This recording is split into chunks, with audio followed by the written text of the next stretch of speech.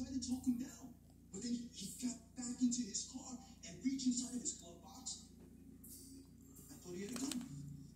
He was going for his registration and his insurance information. And